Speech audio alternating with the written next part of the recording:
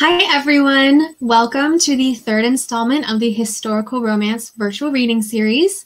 I am Katherine Grant, uh, the host of this reading series, and I'm really excited to um, be joining you again this Wednesday night to gather some historical romance together. Uh, so, for those of you who haven't attended before or don't know or want a reminder, uh, we're doing this historical romance virtual reading series because all of us authors are participating in October at a uh, live conference, Romancing the Gold Coast, which is a fun historical romance weekend in Long Island, New York, where everyone who's a fan of historical romance is invited to come, step back in time, meet some of your favorite authors, explore some of the uh, tropes and activities of the genre that we all love and participate in a costume ball. So I'm going to tell you more about the conference later in the evening, but I just wanted to make sure everyone knew that's why we're doing this series um, and why we're welcoming uh, the authors who we're welcoming. Um, tonight we have a full lineup. We've got uh, five authors who are going to read a, a, range of Regency and Scottish and even some time travel in there. Um, we are going to do Q&A throughout. So when you have a question for an author, feel free to type in your question in the chat. I'll see it and I'll make sure that the author gets to answer it. Um, and we also have a lot of fun prizes lined up to raffle away, including signed copies of several different books. So stick around for the whole evening to get to all of the different raffle prizes. As long as you have registered for the event, which if you're here, you registered, you are on my list and I'm doing a random number generator to fairly pull who the winner is. So um, stick around for the raffle prizes and the readings and the historical romance love. So tonight I am really to kick things off with again Alyssa Alexander. So welcome to the stream, Alyssa. Hi. Thank you so much for having me. Um, I'm looking forward to this. So I am doing a reading from A Dance with Seduction, which is also the book that I'm planning on giving away. Um, this is the story of, it's the third book in my Spy in the Ton series. And it's the story of Maximilian Westwood, who's a code breaker. And um, Vivian LaFleur, who is a spy, and her code name is the Flower. So you'll have her, you'll hear her referred to that way um, in the book. So um, I'm going to start out here. It's chapter one. So, all right, chapter one. Uh, Get out of my study. He hunched over the bit of Russian text he was translating, though her scent told him she was near. She always smelled clean, Strange, given her various professions. Gunpowder or perfume would be more appropriate. Of course, she didn't leave, which meant his work would be disturbed for the remainder of the evening. The warm fire and soothing glass of brandy he was about to enjoy would also be deserved, disturbed. He was looking forward to that brandy. Maximilian Westwood did not look up from the Russian missive. Perhaps, if he did not meet her gaze, she would go away the flower could exit his study by whatever mysterious method she'd entered and leave him in peace. Light footfalls approached him from behind, followed by the quiet, decidedly feminine sound of a throat being cleared. She was still there. Confound her. I am not in that line of work any longer, mademoiselle. The nib of his quill was becoming dull. He eyed the feather carefully. Yes, most definitely dull. Opening the top drawer of his desk, he reached for a short knife. I suggest you find somebody else. Breaking the flower's ridiculous spy codes was less important than his other tasks, such as whittling the point of his quill. I have a need for you, monsieur. He scowled at the quill and shifted in his chair. Her voice was sultry and sensual, as befit her profession. Well, one of them, at any rate. But her words sounded as if she were advancing a sexual liaison. I'm no longer in His Majesty's employ. I've retired from code breaking. Thankfully, he only wanted to study words on the page, and as he excelled at translations, his services were in high demand.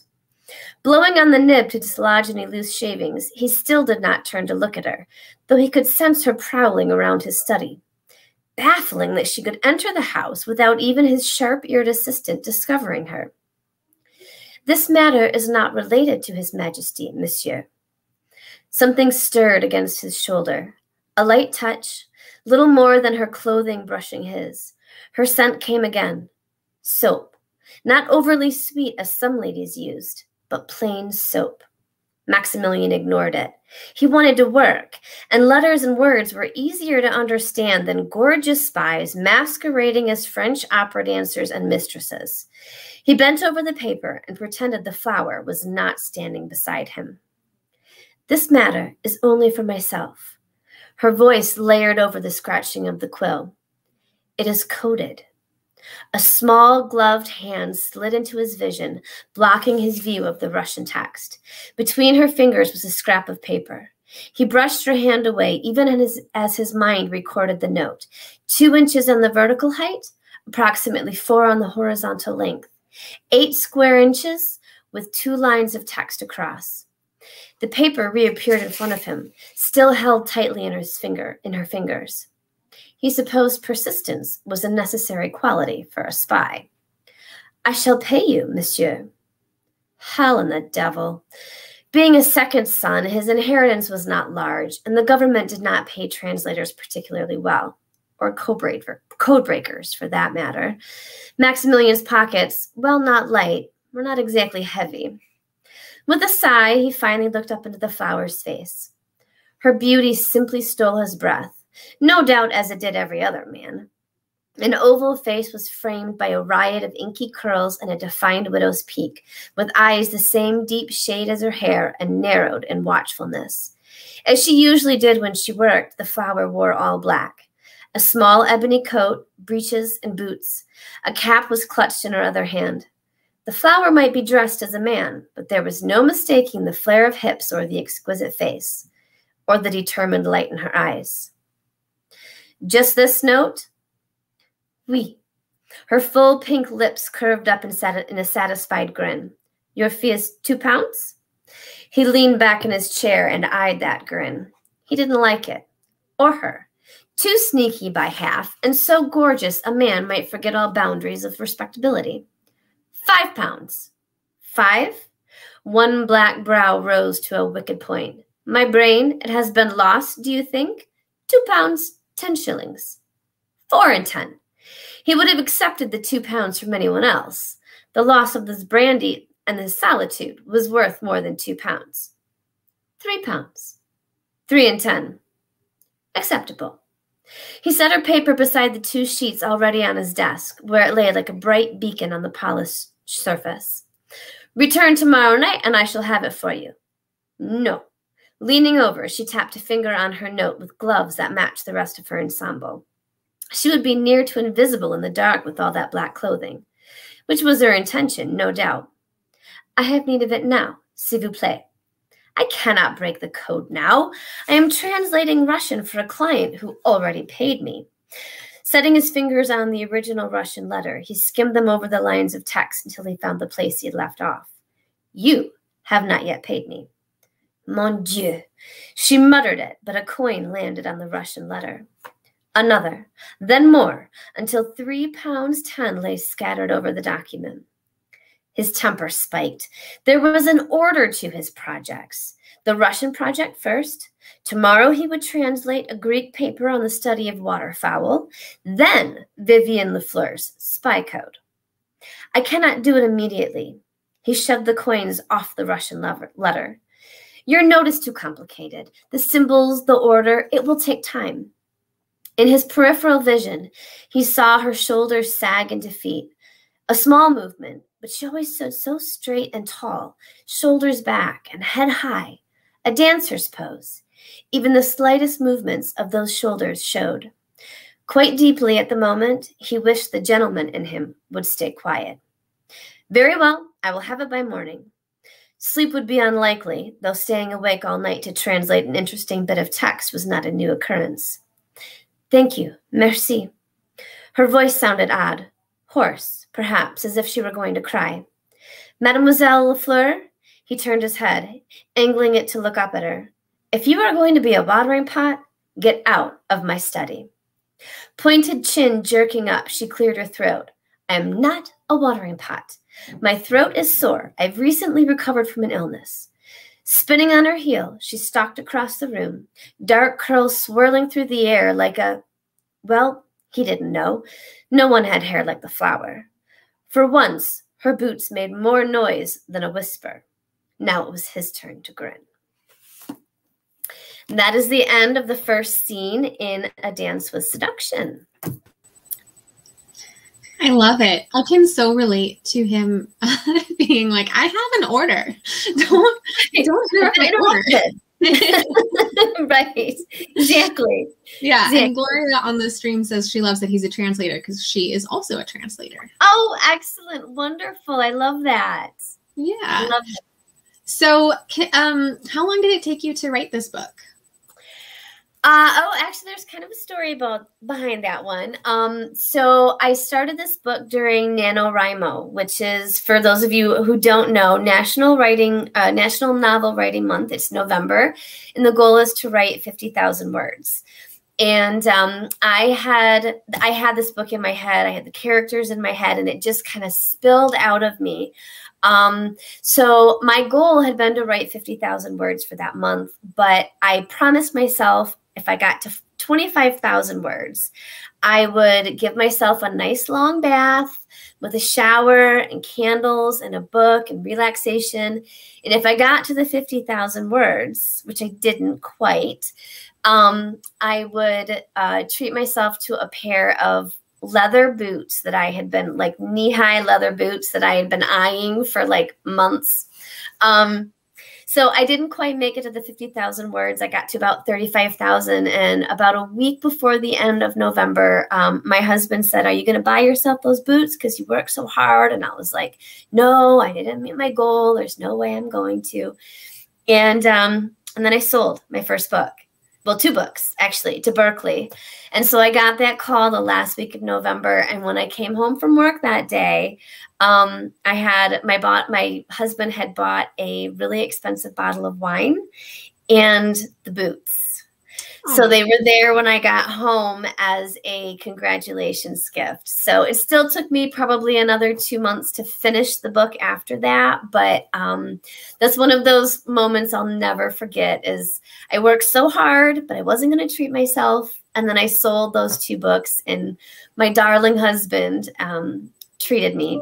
So That's amazing. Um, so that was fun. Hero. Yes, exactly. Real life hero. Totally. Totally a real life hero. He still is. Yeah. So, yeah, um, that was lots of fun. Kristen's asking, how did you become interested in writing historical spy romances? Ah, okay. So historical has always been my jam. So, I mean, I got started on, well, Julia Quinn, Judith McNaught, um, Jude Deveraux. Uh, so those are like, you know, the greats, the originals, um, Katherine Woodiwiss. And so I've always loved historical romance just in and of itself. And then as far as the spy aspect goes, um, I really like suspense mixed with my romance, always have. So I read a lot of like, um, well, like police procedurals. So, like, think J.D. Robb, Nora Roberts, you know, where you're adding in that suspense element. And so, when it got time, or when I started, decided to to start writing, um, I knew I wanted historical, and I knew I wanted a time period where there were going to be spies and war and things like that going on. So, um, so I chose the Napoleonic era, the Napoleonic Wars, just because it was an era I knew, and um, uh, historical area I knew, but then also just the research fascinated me. Um, and I like to make my heroines. Um, my first heroine was a smuggler. My second one was uh, she had actually like fought at the Battle of Waterloo, and my third one here was a spy. And so I tend to kind of follow those heroines that are um, really strong and uh, and really take part in what's going on in the, in the history. Can you tell us a little bit about like what you're working on right now? Ooh, yeah. So I'm starting a new series. Um, so I haven't said a lot about it like online, but it's another spy series starting a little bit earlier. And um, the first heroine again is a spy, and I love her. I just love her. Um, and she is a very individualistic person. So she doesn't wear skirts. She is, and she has nothing. She wants nothing to do with uh, family or love or romance or relationships or anything. She's completely focused on uh, gaining her own spy team. And so when she meets the hero, who is number one, she, he's a duke and she is um, uh, a commoner, right? She's a spy, and so she was recruited. And uh, and so there's a lot of clashing going on between what he needs as a duke and what she needs or wants as a spy, like trying to get her own team. Um, and then uh, and then the, the suspense that they're trying to to solve. So yeah, I love my new heroine. I just I just love her. So I'm about as of today, because I was writing this afternoon, I'm at like 69,000 words, which is about, yeah, almost done. Maybe 20. I have maybe five scenes left to write. So almost finished. Yep. That's awesome. Of course, now you might be at that point where you're like, oh, I don't want to say goodbye to the characters. Let me oh, slow no, down. I don't. I don't. but, but it's going to be a series. I have like three other books planned, so we'll be seeing them again. So, so I'll oh. get to have them back. That's good. So, um, speaking of people that we don't want to say goodbye to, we're going to see each other for the first time, and you'll see other friends that you know at Romancing the Gold Coast. Yes. So, what are you looking forward to about the conference? Um, actually, just seeing people in real life, um, but also reconnecting because there's a number of authors that I know either personally, but also from just online that I've not actually ever met at conference. So, and then there's a couple of old friends that I'm really looking forward to seeing. Um, my roommate actually moved to, she was in Michigan and she moved to um, California, Gina Kunkel. She'll be on, oh. Next week and uh, and I haven't seen her in like a year and a half, and so I we talk all the time, but I miss her a lot. So it's going to be really nice to get to see her in person and and to get back to seeing people in person. So that'll be really fun. Plus, I'm going to have a costume, and that'll be great. I know the costumes are so fun. yeah. So. Awesome. Well, I know uh, you have a signed copy to give away of the dance. Yep. So, everyone at your desks, please make a drum roll. do that. All right, we have the winner is Amy McGrath. Okay. So I will connect you guys um, after the event. I just wrote the name down. We have it. Yes, Amy, exactly. congratulations. By the way, I usually stick a couple of extra things in, like some swag and stuff. So you might get some extra presents besides the besides the book. So how exciting. Well, thank you so much, Alyssa. It's been great to uh, have you on tonight and to get to know you. And I can't wait to see you in October. And I hope some of the people on tonight can also see you in October. I feel the same. All right. I'm looking forward to it.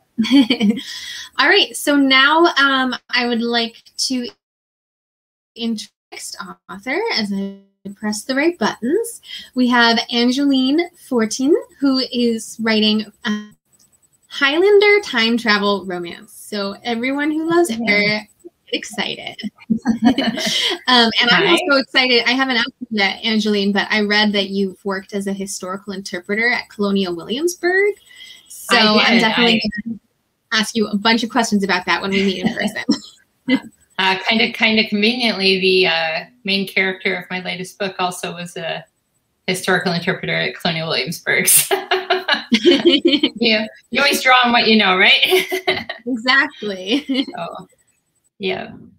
Um, so hi everybody, I'm happy to be here. I do feel a little bit like a second grader who got called on to read aloud in class, so I'm a little nervous. So bear with me um, while I do this.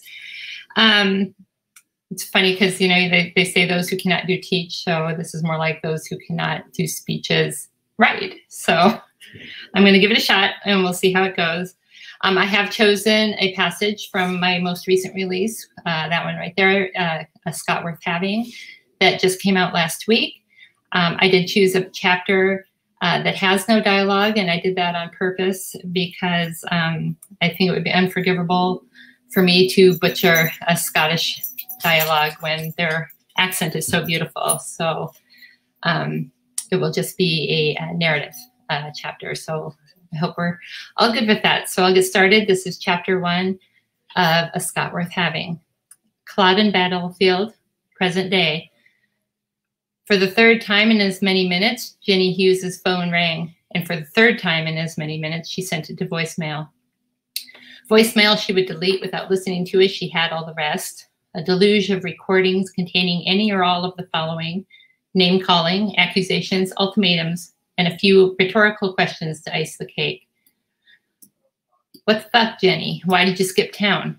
He should know the answer to that. To get away from him. To find some measure of peace away from a man who had been promoted from mere asshole to stalker over the past five months. Dealing with her ex husband had become an uphill, losing battle. So, what had she done? Traded one battlefield for another. She grimaced at the irony and stared out over Culloden Battlefield. Her most recent stop on her journey toward avoidance, both origin and destination, and the barren wasteland her life had become. In truth, beyond the vast visitor center, Culloden was a little more than that a field, a broad, flat expanse of waving grass in the wind. For all her close Scottish heritage and the numerous trips her family had taken to Scotland to visit Granny throughout her childhood, they'd never visit the, visited the historical site. Perhaps her parents thought three young girls would grow restless without something more engaging or, or exciting to view. Two out of three might have. Jane and Bronte were not great lovers of history. Ginny would have been the exception. Unfortunately, though she was the baby of the family, her wishes were rarely catered to. Now she couldn't believe she'd waited so long to visit. The desolate landscape, almost absence of, absent of tourists on a rainy spring morning, roused emotion so powerful she was reluctant to tread on its grounds. Instead, she opted for the path to the right that circled the field instead of foraging straight forage foraging straight in. The grind and crunch of her footsteps as she followed the gravel trail were the only sounds to break the, to break the silence, other than the whisper of the wind through the grass and trees. Further afield, rows of wide-spaced blue and red flags marked the formations of the Scottish and British troops, respectively, it was difficult to imagine this nothingness as a battlefield with armies assembled one across from the other, uniformed figures in red and white to one side, a motley, mismatched bunch of proud and, yes, arrogant Scotsmen to the other. Had they truly thought to win?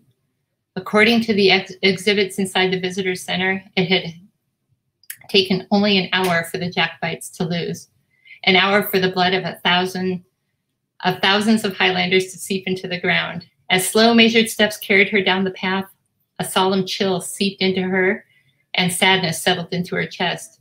It was almost as if the tragedy of the past called through time, a silent cry heard not with the ears but with the heart.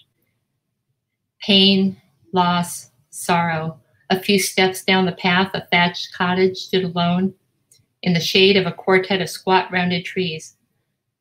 According to the marker in the yard, Leanach cottage, built in the early 18th century, was the only remaining example of the common structure of the time.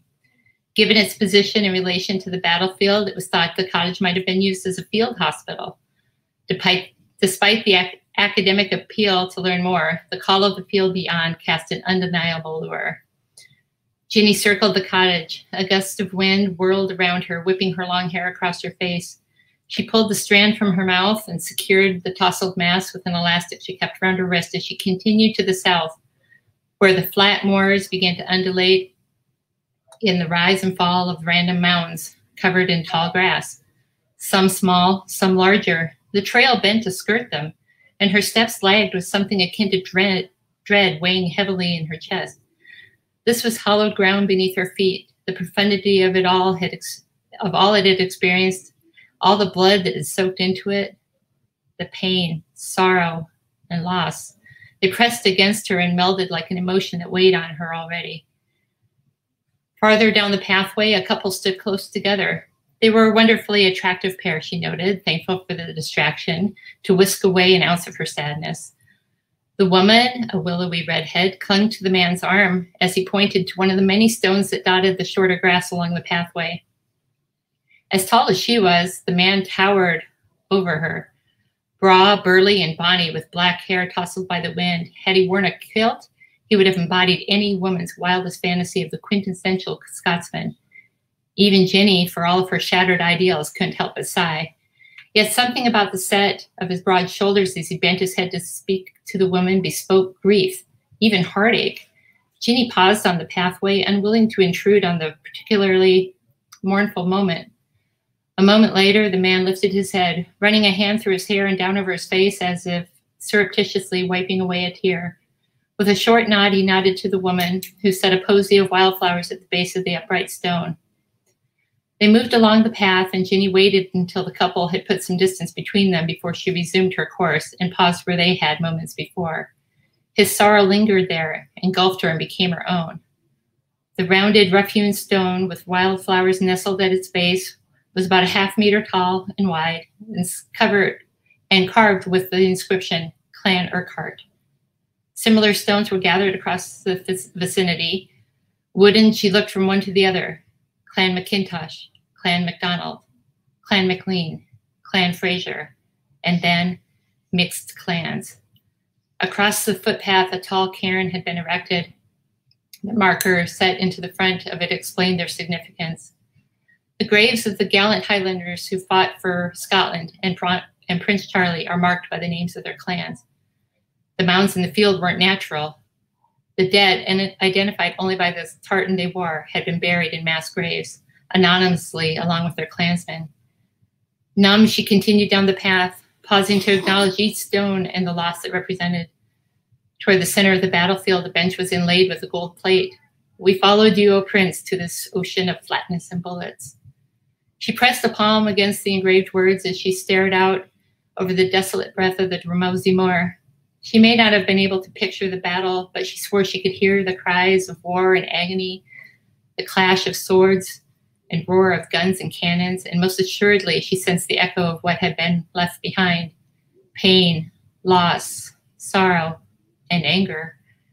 Looking across the field, she saw, or rather imagined she saw, a ghostly figure in a forlorn, kilted the figure of a forlorn kilted Highlander. His lips moved.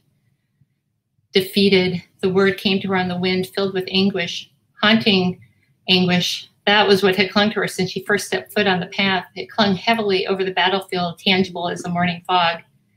It had always been the same for Ginny since she was young. Historical sights roused an empath empathic pang in her heart, as if she shared the emotions of the people long dead patriotic righteousness and triumph during the days she had worked at Colonial Williamsburg in Virginia, defeat and misery at battle at Gettysburg battlefield, the torment and frustration and fury in Selma, where the civil rights movement of the 1960s had been met with brutality and bloodshed and death. It had taken years for Ginny to realize not everyone experienced the same vicarious sympathy to history.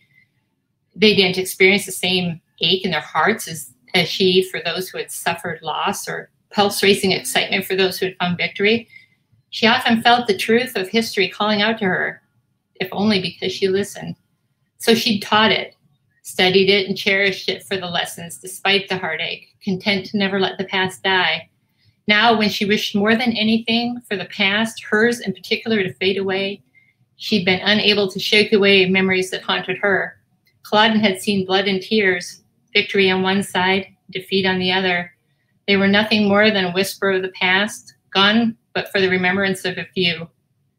How she wished she could put the past behind her and simply let it all go. And she will in chapter two. so, Thank you so much. That was really captivating. Nervous. So I do oh. tend to kind of skip words and stuff. So that is maybe not an exact word word for word. Um, well, everyone should go buy your book and read it, and they can compare it to this YouTube if they really want to find out. They totally could. Live edits. so, we yeah. have a couple of questions for you. Um, Kristen wants to know where do you find the ideas for your stories? Do you start with the present or the past when you're um, time travel? For this one in particular, um, this series, almost all of it has been based off of um, a trip that my husband and I took to Scotland a couple of years ago. Yeah, my research trip. So um, we went for two weeks and we drove um, basically all over the kind of upper left hand quadrant of Scotland and visited um, all of the places that I've written about in these three books. So uh, just seeing them and kind of feeling that same kind of thing that I read about, you know, um, it really sticks with you. And I really wanted to put those places into into my stories. So yeah, I think probably everyone who loves historical fiction can really relate to that sense of you step into a place and you can, you know, put yourself into the experience and kind of feel this empathy. I, think so. I think that's why people who read historical romance more than anything read it is because they do love the history and they love the, you know, not just the dates and times, but what people felt, you know, in the past and what they lived through and and all that stuff. So I try to take my characters and put them, you know, not just into a, a time, but into into you know a life that has you know real trauma, you know, a lot of times. So um, I tend to write a little heavy sometimes, like it's deep, it's you know moody and emotional, but um, but you know, I feel like that's how people would be, you know, if they actually did that. So yeah. Yeah. And so you said this is based on a trip you took to Scotland. Is there anything like are there particular eras of history that call to you, or is it more about where geographically you want to go? Um, I, I, mean, I write in my his in my historical series that I have. I write straight up uh, Victorian and a little bit of Regency, but in the many, um, I'm not even going to try to count it, time travel ones that I've written. Um, I tend to just kind of find an event that interests me, a historical time itself. Like uh, I've been everywhere from I've actually several books kind of centered around the mid um, 18th century around Culloden, but I've gone as far back as you know like the early 1500s and up to the you know 1910s uh, in that era. So yeah. it's just it's just about what what happened and you know I, I want to embrace that sometimes. So yeah. You know, you right. say, okay, they're going there. Now what can we make them do while they're there? right. yeah. So. And uh, I know you mentioned that you have a costume for Romancing the Gold Coast. Um, are you looking forward to the costume ball? Um, yes, actually, we're huge lovers of Halloween and cosplay in this house. um, it's just kind of like another little I'm going to call it my um, my Titanic cosplay because it's so Edwardian uh, dress. So I'm going to just kind of picture myself strolling on the, the deck of the Titanic in my my uh, you know yeah. 1910s kind of dress. So yeah, I, it'll be it'll be fun. yeah. yeah. And do you have any tips for readers who are considering going to the conference? Like what they can think about or, or plan around to make it the most fun conference they've been to? I've heard there's a lot of vineyards. there are, yeah. so, um, I mean, that's kind of my plan. I, I, I, uh, I mean, I've been to New York City. I think a lot, you know, maybe not a lot of people, but um, have been to the city itself. So I'm going to be centering my kind of explorations. I've never really been to Long Island, and I've heard that there's, you know, a lot of you know, a lot of great scenery up and down the coast. So I'm kind of thinking a nice little drive around um, the whole island would be tons of fun and a little stop for a tasting here, a little stop for a tasting there, you know. um, yeah, yeah I think a lot of people aren't familiar, like they've heard of Long Island, but they aren't familiar with it. And Long Island is um, a long island, but it, it has uh, a lot of great uh, features, including, like you said, there are vineyards that grow their mm-hmm. own wine, yep. grow their own grapes and produce wine. Um, there are oyster farms, the Hamptons, which is like the quintessential, like really fancy houses. yeah, fancy thing to do.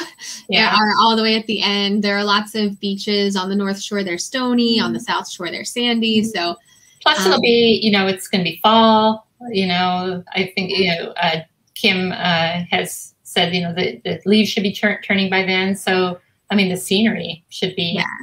really, really beautiful. Yeah. So, yeah, I'm kind of looking forward. I was thinking I might drive. I mean, it's like only it's only 18 hours in the car. So, you know, so just so I don't have to worry about, you know, trying to find a way to get around to everything I want to see. I was I was kind of toying with that, but we'll see. From Minnesota to Long Island is that's a ways. So it is. Yeah. I did forget to mention um, beforehand. I am giving away a copy of this book, a paperback copy of this book Great. for the raffles. So well, now that you mention it, let's do that drum roll. And drum roll. And um, number okay, twenty-two. Chelsea Waters. Congratulations, Chelsea. Okay, I'm just making a note, and I will connect you guys after the event. Awesome. Yeah. Well, Great. thank you so much, Angeline. I really appreciate you taking the time. Yeah, thank you I for really bearing with me. thank you for bearing with me. I appreciate it. Great job. Great. Thanks a lot. Thank you. Uh, bye. Bye. All right. So coming up, we also have Lori Ann Bailey, who also writes Scottish historical romance. I'm going to do a reading, um, and we have Monica Burns coming along to do a reading. Before I get to that, though, I wanted to take some time to tell you more about Romancing the Gold Coast because we've been mentioning it a couple of times, and I want to make sure everyone has a chance to learn about it. So let me figure out how to share my screen, pressing the right buttons. And we do have, um, you know, our conference organizer, I believe, is on live watching YouTube with us. So feel free to pop your questions about the conference in to the chat and I'll try to answer and Kim might be able to answer them. So, like I said, uh, Romancing the Gold Coast is a weekend conference for historical romance lovers to step back in time and really feel like you are experiencing the historical romance genre. It is October 21st to 24th this fall, 2021, in Glen Cove, New York. And like uh, I was just talking with Angeline about, um, Long Island, Glen Cove is part of Long Island, which is right outside of New York City. And it is the part of Long Island where generally the Great Gatsby took place. So think about that as your inspiration for what this will look like. This is the mansion where the conference is taking place. So this is um, where you'll be staying in the hotel and also the um, actual, you know, the venue where everything fun will be happening. Um, and you can see that it really will make you feel like you're part of that glitzy historical romance world. Uh, one of the top reasons to come is to meet your favorite authors. As we've been showing with this virtual reading series, we have over 30 historical romance authors coming. And part of the point is just for us all to meet you and to connect with you uh, readers and talk about why we all love historical romance. Now, this is the inaugural Romancing the Gold Coast. So these pictures are from other conferences because Kim is organizing this conference for the first time. But these are pictures of Kim meeting authors who will be there, like Kerrigan Byrne and Terri Brisbin and Gina Conkle. And, uh, you know, that's the sensation that we're going for for this conference. So we're hoping it will be really easy for you to hop in, meet us, feel like all of a sudden we're best friends and we can tell you more about where we get our inspiration from. We will also, since we are all geeks and lovers of the historical romance genre, we will be doing a lot of activities to really feel like we are part of the historical romance world. So there are going to be a couple of marquee events, including a tea party that will be catered by the executive chef uh, there will be a live harpist accompanying things, which I keep mentioning because I love the harp. So I'm very excited about that. and then at the costume ball, you're encouraged to wear a costume. You're not required to wear a costume, but you're encouraged to wear a costume. Um, and every author will be partnering with another author to decorate a table. So that will be um, bringing a little extra flavor to it. And we will um, you know, be dancing and partying together. And that's also catered by the executive chef, who's an award winning chef. Um, other activities include author speed dating so that you get a chance to meet all the authors, book signings, historical crafts, masquerade, mask making, Georgian bingo, and Regency card sharps. So all of these are designed to make it feel like, you know, these things that we've read about in books that we're always like, oh, that sounds fun. Now you can do them, and you can do them with the authors who are creating the worlds that you love so much. So um, that is the gist of the conference. And uh, the registration deadline is July 15th. Uh, so that Kim can get all the numbers solidified with the venue. So that is in less than a month. So if you're considering it, um, just be sure to make your decision before then. And if you have any questions, feel free to ask them right now. Um, so I'm going to stop sharing my screen real quick. Just make sure. Um, so Lori Ann is coming on in about 20 minutes. So before we hop on to that reading, I actually have a little surprise that I organized for you all, um, which is some historical romance trivia. So I invite you to head on over to this link crowd live slash bwt2d um, i will drop that in the comments so that you can click through.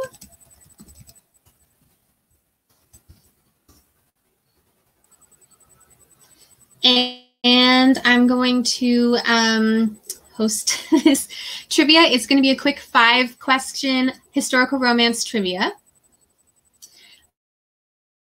Uh, and click through that. And I will get it started. I'm going to be off of YouTube, but I'm still here on YouTube, so you can keep me open in a tab so you can hear me. Uh, but I will be launching the trivia. Again, I see if there any wiggle room on the registration day. I'm not sure specifically what kind of wiggle room there is. Um, so if Kim's on, she can hopefully answer that for you. But I imagine if you reach out to her, she can work with you on that. Okay, so head on over to crowd.live slash BWTD. And I am going to figure out how to start the game. do, do, do. Where's the play button? Hmm. Play. Show. Start the countdown timer. Start countdown. We'll see if this works. I thought this would be a little fun uh, intermission show. Oh, the first question should be on your screen.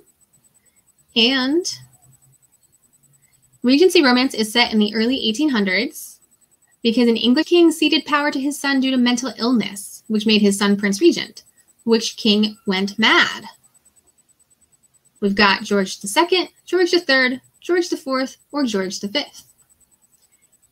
And the answer, if it will let me show live results. The correct answer is George III. So I'm trying to see if I can show you the correct answer. There we go.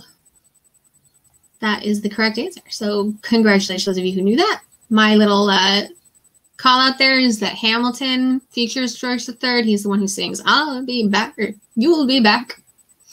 Okay. Next question is, it's not showing. There we go.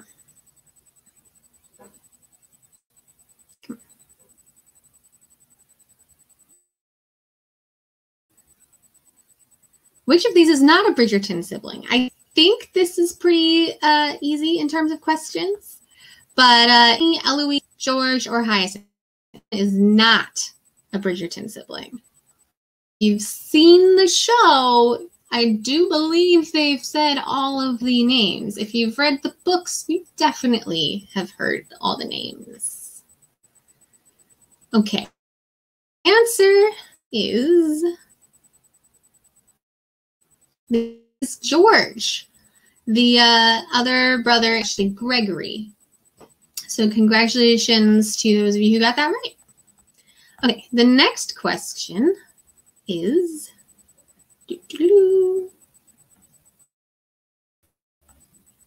Fabio is iconic as the romance covers in the 1980s and 1990s. He is also known for a 1996 ad campaign for which brand. I can't believe it's not butter, Volkswagen, Gateway Computers, the I only learned this recently, but I've heard that it's actually like common knowledge. So it looks like everyone's getting this right. Congratulations. It's I can't believe it's not butter. Who knew? I watched these on YouTube because they're available on YouTube and there are a very strong George of the Jungle vibes. Uh, I don't mind. I loved George of the Jungle. Okay, second to last question. What is the name of the Scottish town where historical romance couples go to elope? Write in your question, I mean, your answer. This is a pretty common town that people uh, run off to when they're like, oh, we want to get married really quickly, buy a special license. So we'll hire and travel for five days and cross the border and go to. Correct. Gretna Green. Good job.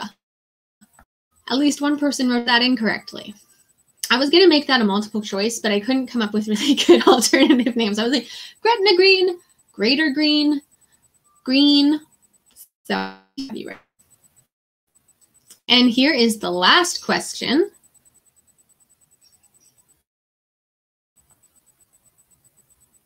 Which first modern historical romance novel?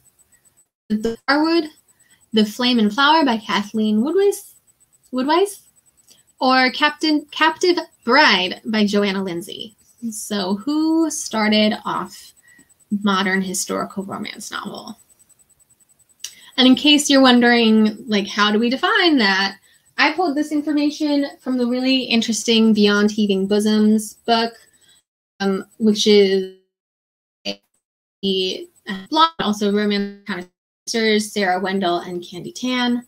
So um, they are my source for this, for defining what the modern historical romance novel is. And the answer is The Flame and Flower by Kathleen Woodiwiss.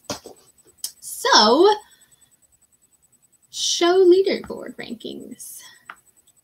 So thank you for uh, playing along with me. I thought that'd be a fun little uh, intermission. Let me know if you liked that or not. We can do it next week or we don't have to.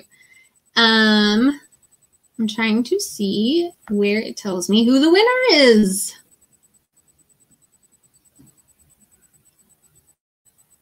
Where's my winner?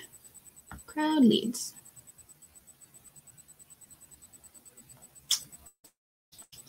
Rankings. There we go. That'll tell me. Okay. Congratulations, Lady Meg Edwards, with the most points at 220 points. You got three out of five correct, and you did it, them the fastest. Kristen's in second with 142 points. Gloria came in third. So thank you, everyone who played. Again, let me know if you liked that or not. I'm okay with it being, you know, uh, an experiment that we have different opinions on. All right. Um, so now that we have played trivia, I am very excited to welcome our next author. Um, we have another Scottish historical romance author, the award-winning Lori Ann Bailey. So welcome, Lori. Oh, thank you. Thanks so much for having me. I'm excited to be here. I'm so glad you are on with us. So, um, generally, uh, it, I know you write Scottish historical romance. So, do you want to tell us what you are reading tonight? Uh, what I'm reading tonight is from uh, book three of my new series that came out this spring. It's The Wicked Highland Misfits, and it's a uh, based on a band of brothers and sisters who have been orphaned and come together on the streets of Aberdeen, Scotland, and they form a family unit where they take care of each other. But they they do some uh, some criminal things to get by, and uh, so all of these stories are really redemption stories. But the um, in in the first one, my heroine is a pickpocket in the um, second one, my hero is a cat burglar. And in the third one that I'm reading from tonight, To Save a Highland Sinner, my heroine is a con artist. So, so they all need a little bit of redemption. awesome. Right. Well, I'm excited to hear it. All right. So uh, I'm just going to read chapter one because I want you to get an idea of these uh, characters because they mean so much to me, and I they have a lot of great dialogue and interplay further into the book, and I think you'll see that from the conflicts going in. Uh, Kate, who is the um, my uh, heroine in this book, is uh, she appears in book one and book two, so you get a little bit of flavor for her before this even starts. But uh, here goes to save a Highland sinner. Aberdeen, Scotland, July 1811. Although born Catherine Mitchell, Kate went by many names. Today, she'd be taking on the persona of a wealthy merchant's sister. But in actuality, the name she would be assuming belonged to a 12 year old girl who lived in the city apartment rented by her adoptive family of rejects, none of whom knew of her plan or the danger she'd be facing. Her family was about to lose that home, affectionately called Camelot. The circumstances leading to the imminent catastrophe were all her fault, so she was on her way to rectify the situation. She stepped out of the carriage she'd been riding in and could finally fill her lungs. If she could have arrived by horseback or hackney, she would have, but the task she'd set herself this time required that she appear to be a lady who enjoyed refined things. She dreaded getting back into that box, even if only for the short ride remaining to reach the Earl of Stonehaven's estate. Soon she would be someone else, but for the next few minutes, she could just be Kate, a person even she no longer recognized. Kate was a woman who few had ever met, and she planned on keeping it that way. Thank you. I'll only be a couple of minutes, she said to her coachman, who she'd hired weeks ago, but only met up with this morning. She trusted the driver because he sometimes did jobs for her brother, Will Douglas, leader of their motley crew. Will was feared and known as the king of the streets. She laughed at the nickname, which seemed ridiculous to her. But there was another man in the city who had been given the moniker of King of the Docks, so she guessed it was appropriate for both men to stake out their territory. The coachman could be trusted to keep her secret safe because no one wanted to invite Will's ire upon themselves. No one except the king of the docks had ever challenged Will. She slipped off her shoes and removed her stockings before dipping her toes into the cool creek beside the road. The stop had been spontaneous, but as she had neared her destination, the the confines of the coach, and the pressure she'd placed on herself had her heart racing.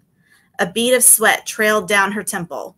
The gurgling sound of the water, the fresh light of the afternoon, and the warmth of the sun enveloped her and eased the nausea in her belly. She wasn't nervous about the task in front of her. It was so easy to fool others. Most people didn't know how to sway unsuspecting souls to their cause. She did. The trick was being honest about everything you could, but lying when necessary. No, the ache in her belly had to do with that damn box she had to get back into to make her appearance at the house party where the game would begin.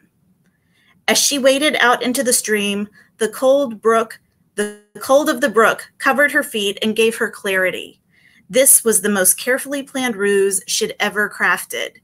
But still, she had to be able to recall the lessons she'd learned over the years. So she went over the list she knew by heart.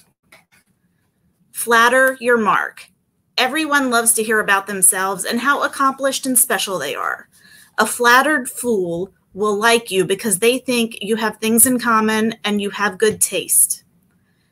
Make them think you're on the same side. Whenever you can, try to team up with them to solve problems or or have them help you with one. When speaking with your opponent, using we and us helps your mark associate with you because they think you both wish for the same outcome.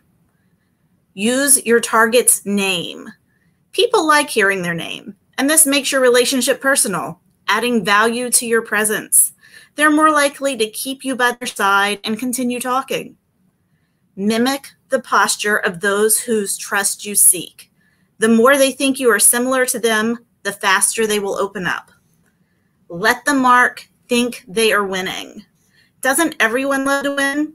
This puts them in a favorable mood and more likely to agree to your suggestions. Set an urgent timeline. When pressure is applied, one's reasoning is often diminished. Take advantage of a flustered target. Your flaws can be a strength. Make yourself sympathetic. Why would people trust someone who couldn't who couldn't appear vulnerable? This one she had down to an art. Being a woman helped, but also she had some serious failings that made her appear fragile. Promise whatever you need to. Promise a meeting with a prince or another businessman. You won't be around to follow through, and they don't know that yet. Hoofbeats pounded on the ground and reached her ears. She ignored the lucky bastard. Instead of riding wild and free on the back of a steed, she would be forced to return to her torture chamber.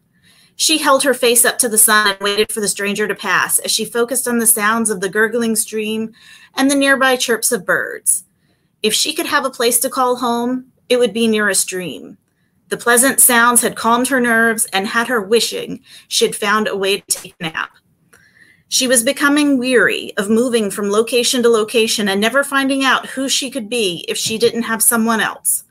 Sure, she could stay at Camelot, but the only person who knew her there was Will. As soon as the others did, they would either want her gone or they'd leave themselves. Perhaps after this ruse, she would even purchase a horse as a companion. She'd heard they live a long time. She'd seen people heartbroken when they'd lost their domesticated cats and dogs. She would not set her, herself up for that kind of pain. A mount might stay around for a nice long time. Dreams could wait. She needed to focus on a plan, the plan at hand. It had taken months of careful planning, and now the moment was at hand. She turned and strolled back to the carriage, picking up her stockings and shoes along the way. It was time. Although the pieces were in place and going according to plan, now she turned her focus to getting the job done. Gavin Davidson had never attended a house party before. He hoped never to again. Even now, he'd snuck away to race his steed down the road. Anything to wake him from the boredom of sitting around and being still. As a constable in the City of Glasgow Police, he was accustomed to breaking up brawls and tracking down criminals. Danger had a way of finding him, and he had his ways of dealing with the strain by keeping a strict moral code. Gray areas didn't exist. There was only black and white, wrong or right, unlawful or innocent. He never strayed from the. This was what kept him going and prevented him from sinking into moral dilemmas and questioning his reactions. When judgment calls could mean the difference between life and death. Of course, he spent some days doing menial tasks involving street maintenance, lighting, and occasionally refuse disposal. All of those were preferable, preferable to sitting in a room and attempting to look polite by not dunking biscuits into his tea. He liked a challenge, but so far the biggest one at the Stonehaven estate was which style of eggs to choose from the sideboard. While he liked the guests well enough that he'd met so far, this event seemed like a huge waste of, of his time. He'd only come to the Earl of Stonehaven's estate to catch a criminal, one who had he had on good authority would be here, but so far there was no sign of the villain. Lazing around the house and playing games didn't come naturally to him. He'd been working since an early age, and having idle hands while he waited was driving him mad. He'd only arrived late last night, but today the activity was walking the grounds. He would have joined the others to examine the layout of the lands, but they'd set out just as he'd returned from his morning run. He'd seen a small portion of the grounds during his exercises, but would take time later to learn more. Even so, he didn't suspect the person he was looking for would wander far from the drawing room, especially since he'd learned there would be no children around for the deviant to target. As he galloped down the road, he came across a carriage pulled over. He slowed his pace to see what could be going on. He imagined some robbery he needed to assist with, but all seemed well as the coachman casually waved and smiled at him. He pulled his horse up short. He had even taken to daydreaming, which was something he'd not done since he'd been a young lad.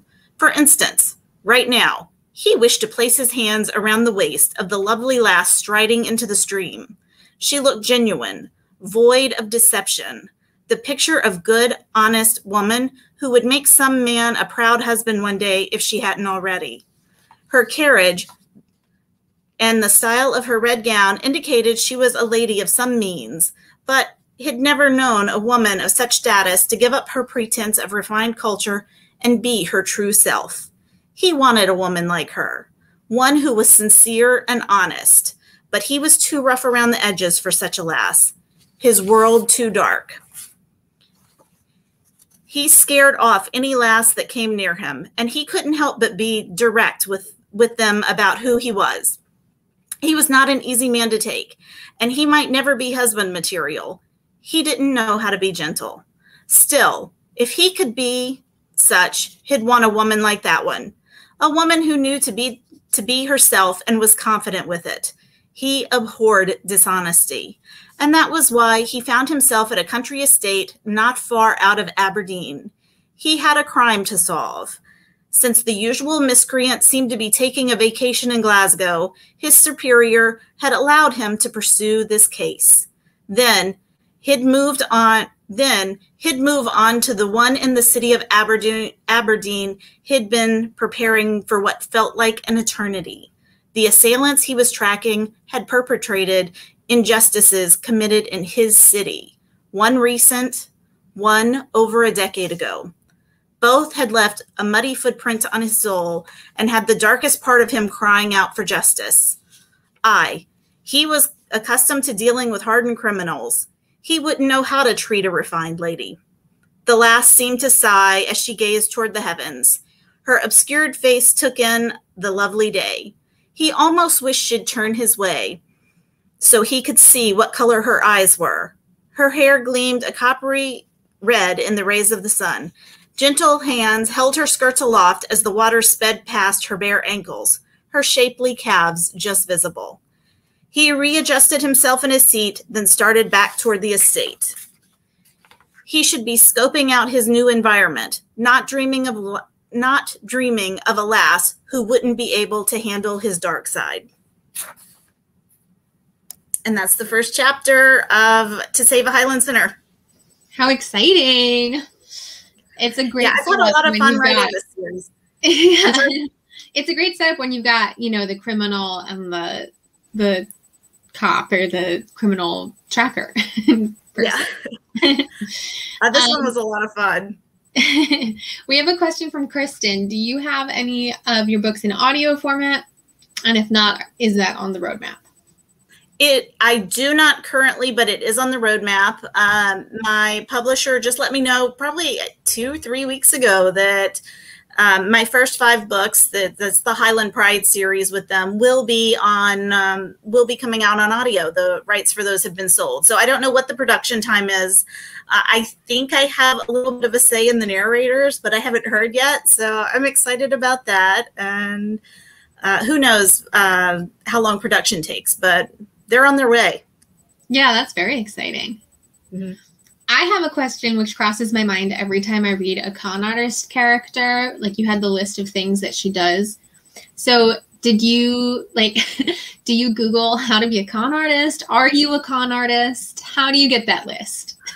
I, you know what, I I watched several shows. I can't even remember what all of them were. I I watched the the the um, one with uh, Rebel Wilson. Is that her and name? Anne and Anne Hathaway. And I, I watched a couple, couple other shows, but I also I did a Google search on uh, what characteristics a con artist would have, and I also I worked in there the the we and the us. I don't I don't know if you guys caught that part, but that um that I got from a book called The Gift of Fear. I don't know if you guys have ever read that, but I recommend that book for everybody. Uh, it's I really, I, actually, I really think that book saved my life. But it it talks about people that will uh, will uh, try to get to you in a public setting and they do something called forced teaming which makes gives you a false confidence of being on their side so they'll come up to you and say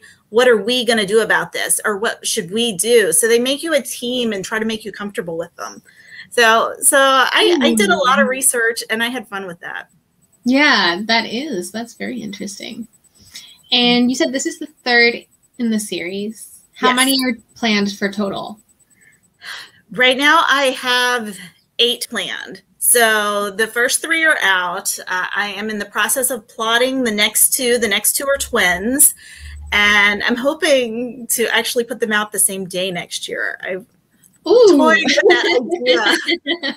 so I'm excited about that, and um, then I have Will's story. Uh, Will is the one I mentioned in there, who is the, the king of the streets, and also the king of the docks is Dros- Drosten.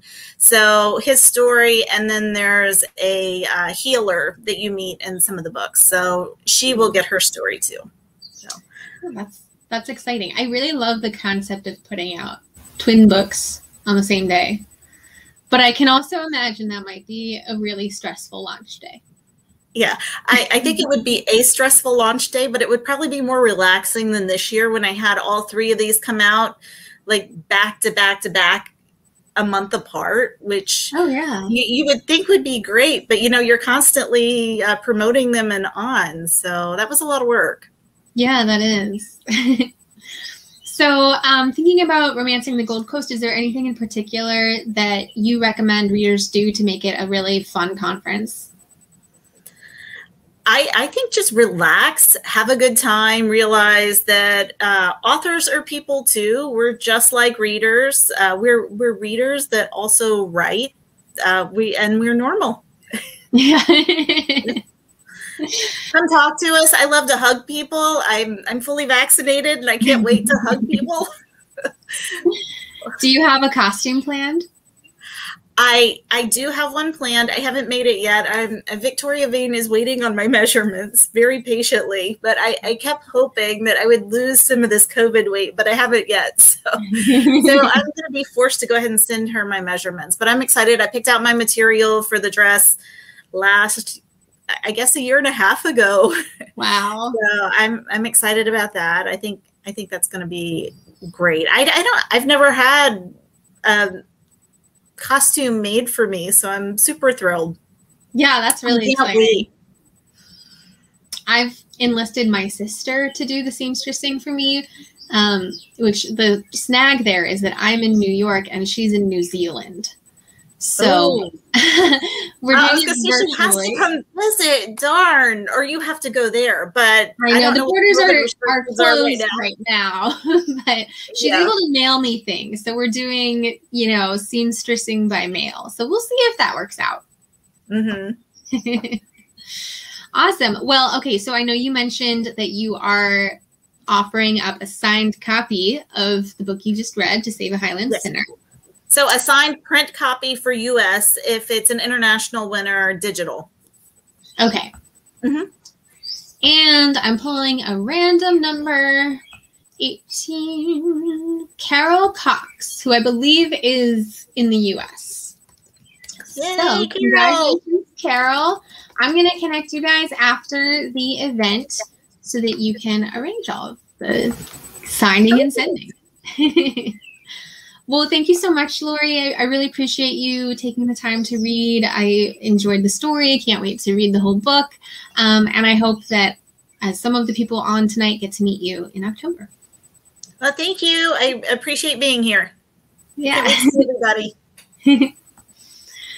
All right. So I don't know that I've mentioned why I'm particularly excited tonight. Some of you know um, it's actually my launch day. Today, I am launching a new series into the world. Uh, it's called The Prestons. It's a whole family. Um, so I decided to take tonight to actually read from my novella, which just launched today. Um, so I want to share my screen so you can see the cover. And while I do that, I'll tell you a little bit about this series. So for those of you who for first book in January of 2020, 2020, January of 2020. Um, and I decided to write Regency romance because I was binge reading Regency romance, um, primarily Mary Balogh. I also was reading some Victorian Courtney Milan and Sherry Thomas.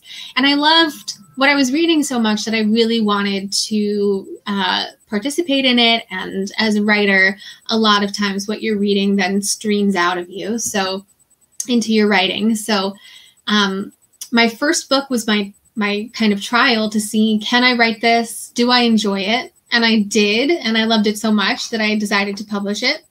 And so my first series um, was kind of getting my feet wet in being a historical romance author, learning what it was to research and put together uh, a whole series.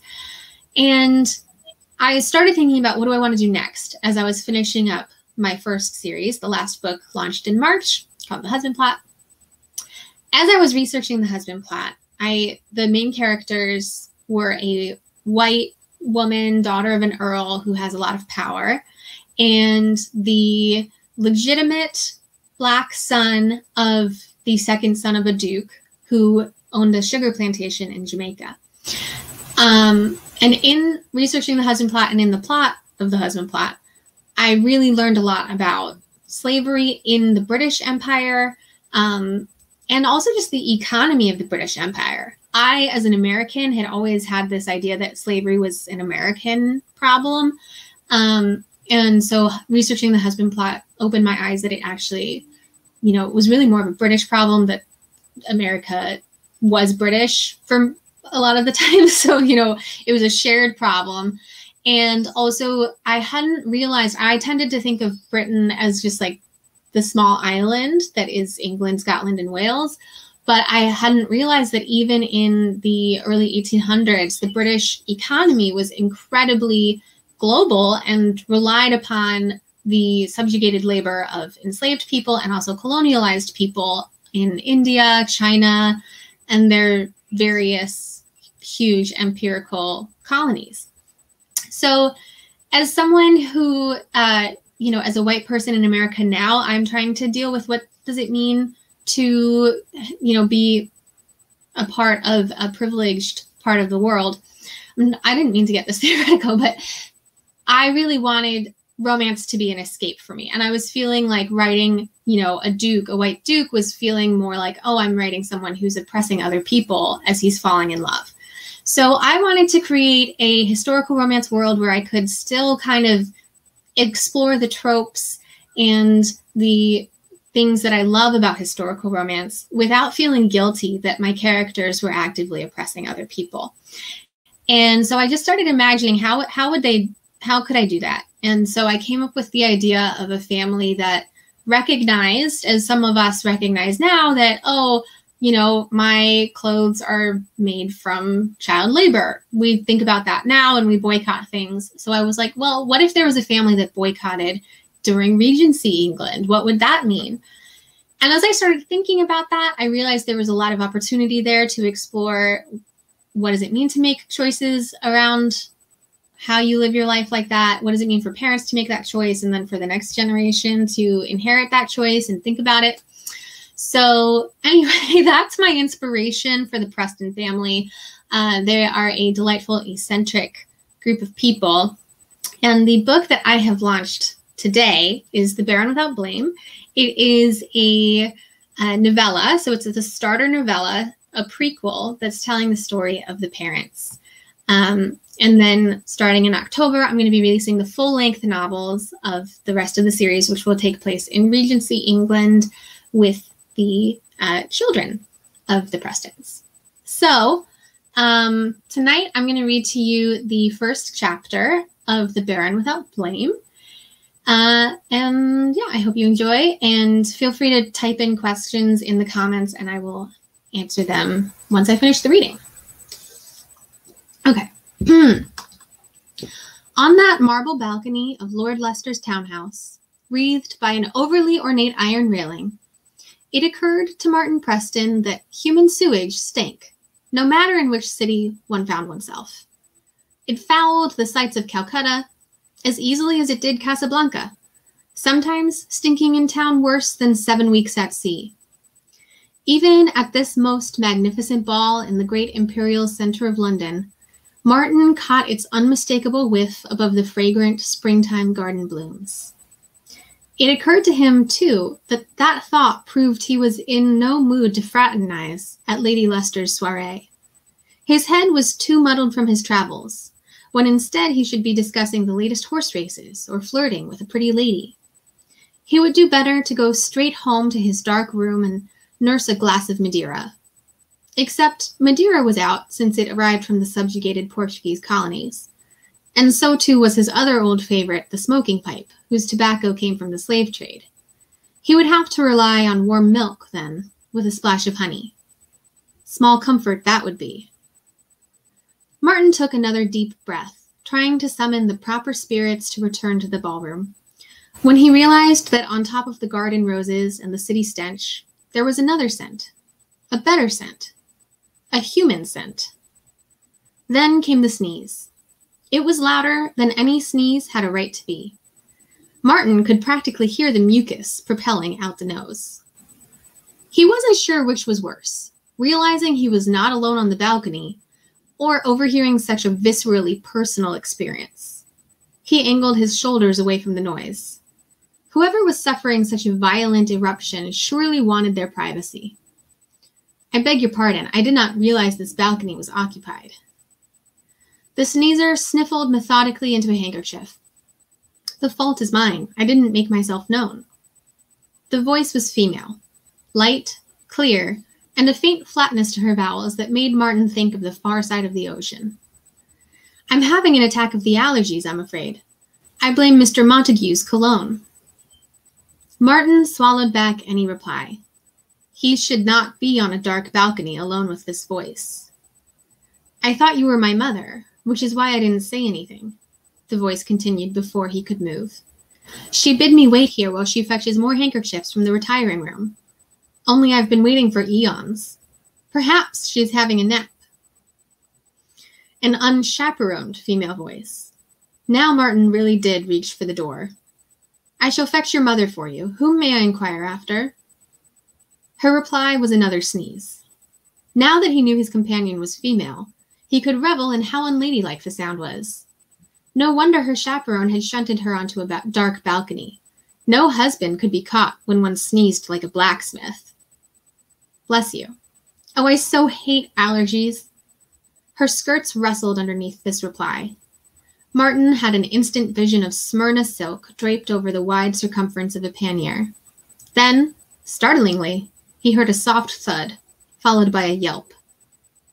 Martin didn't dare turn around. Are you quite all right? Yes, the voice huffed.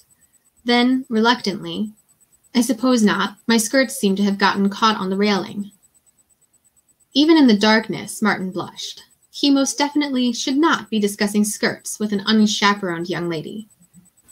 He reined in his thoughts before they could race after images of petticoats and slim legs. The most proper thing to do was fetch her chaperone. But if he left her alone on this balcony, someone else could just as easily step out and discover her trapped. Which was how he found himself asking, May I offer my assistance? There was a long, reluctant silence. Then, I suppose so. Thank you. Martin turned. He could just make out her silhouette leaning awkwardly into the wall, while her skirt ballooned against the wrought iron railing. Her gown was pale, a virgin white, perhaps, and shone in the dim moonlight. The rest of her melted into the shadows. Clearing his throat, he crossed to the railing. His guess was one of her pannier hoops had hooked onto an ornamentation.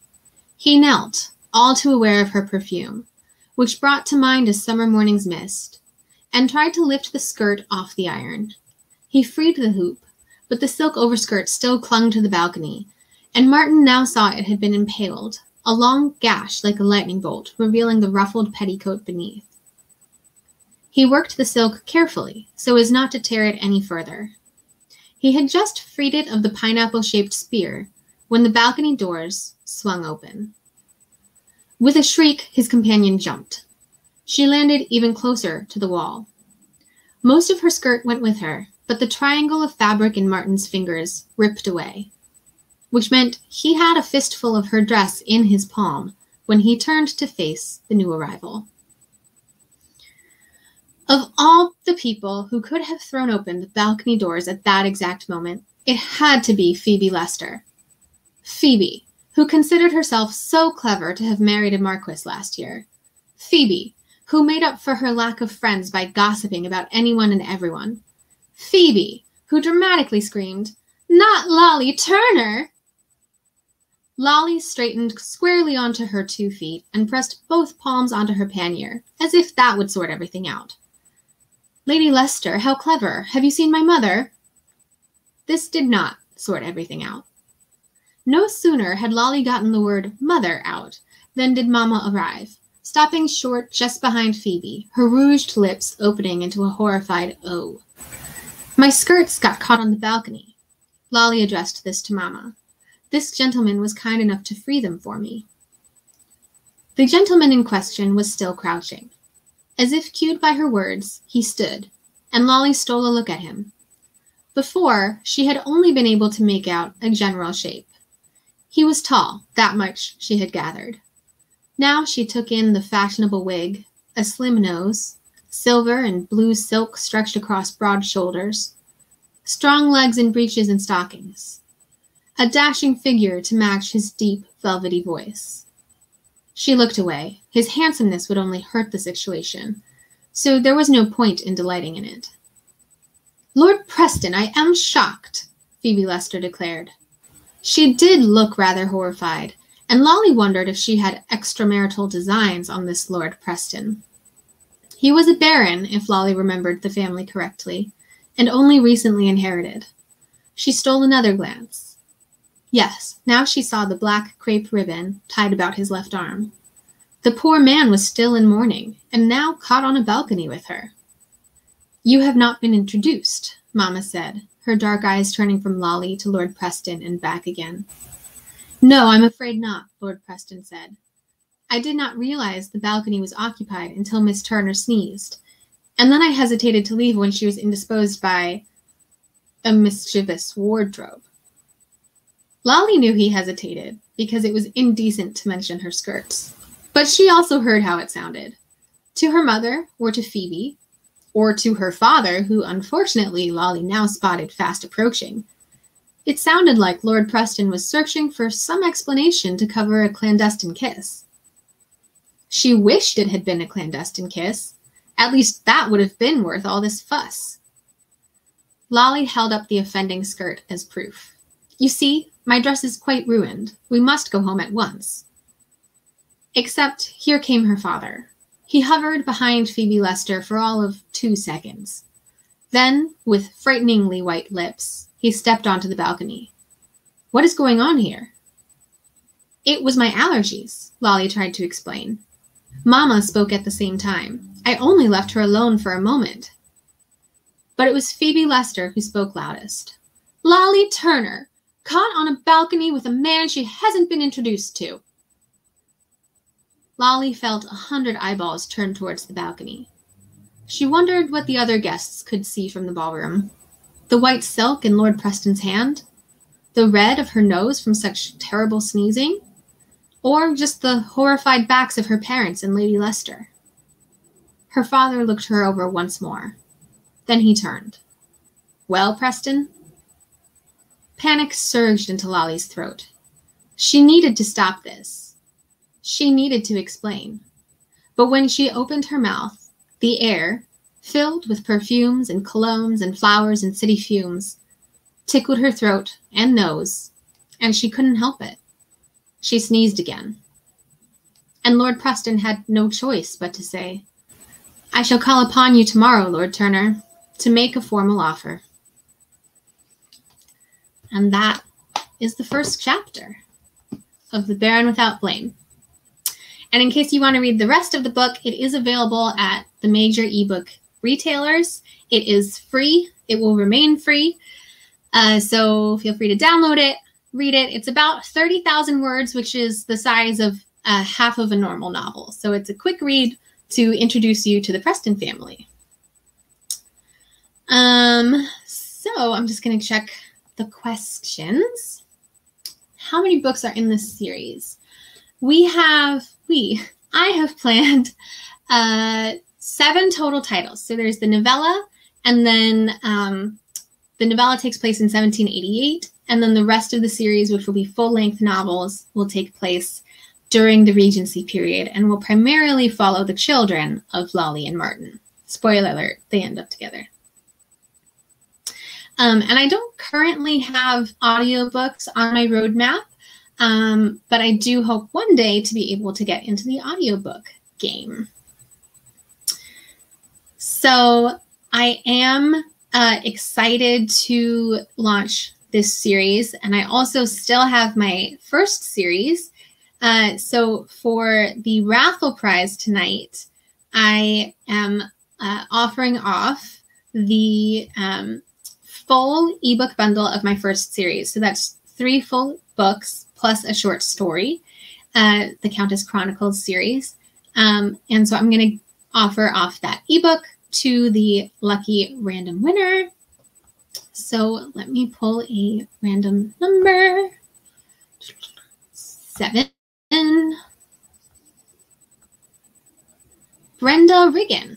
So I will follow up with you, Brenda, after this. And coming up, we have Monica Burns, who is going to be reading some of her historical romance. And she also has two different raffle prizes to give out.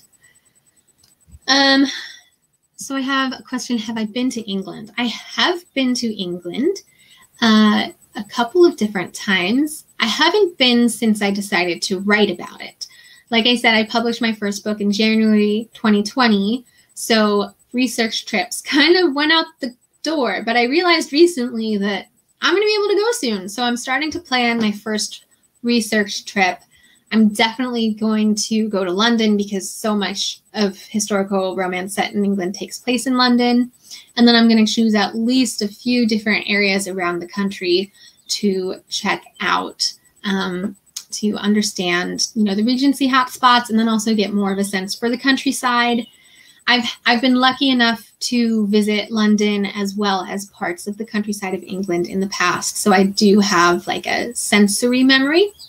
And then what I've also been doing as I choose different locations, let me get this and I'll come back to my mic. As I've been choosing different locations for my various series where the stories have been taking place to get a sense for the country, I have this book, which is England from an aerial view. And it's, you know, an overview, literally, because it was planes taking photos. But I like to use it to get a sense for the overall landscape.